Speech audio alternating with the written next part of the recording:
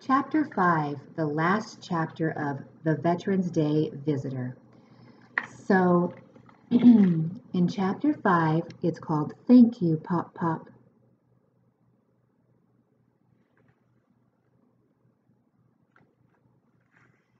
The following week, Emily visited Pop Pop at his house.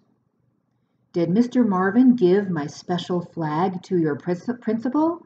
Pop Pop asked Emily. Oh boy, Emily exclaimed. Did he ever?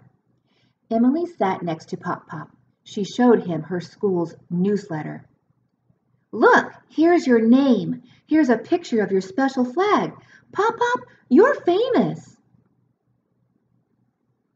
Pop Pop smiled. He was pleased. Well, I did feel like a movie star when I got so many letters from your class this week. He chuckled warmly. Did you have a favorite letter? Emily teased.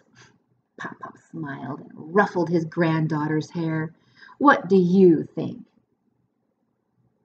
Which letter was his favorite, do you think? Probably his granddaughter's, right? Emily's. Let's see what she wrote. Dear Mr. Moore, Thank you for visiting our class. I liked it when you told us about veterans.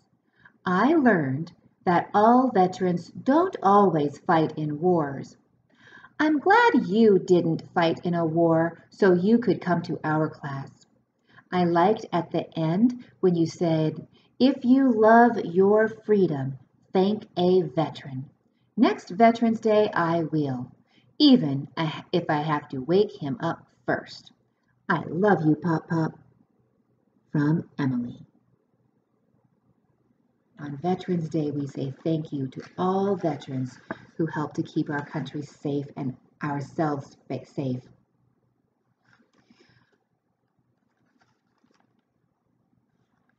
In um, I wonder what made this flag so special. They didn't really talk about it, did they? Do you want to talk about the flag?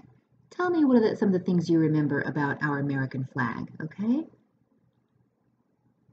The colors, the shapes, how many stars and stripes there are.